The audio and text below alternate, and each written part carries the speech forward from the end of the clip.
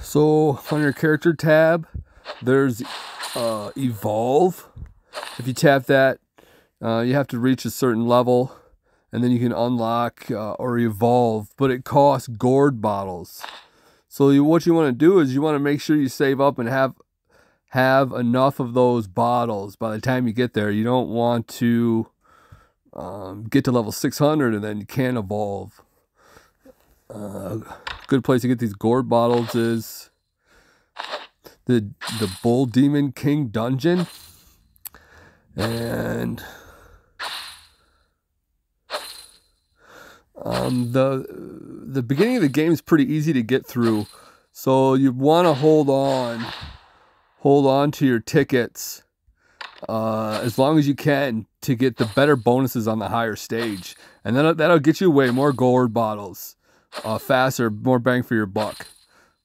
Uh, yeah, uh, and this should this will help you out. Uh, keep moving forward more smoothly, and uh, have this will give you more currency for upgrading.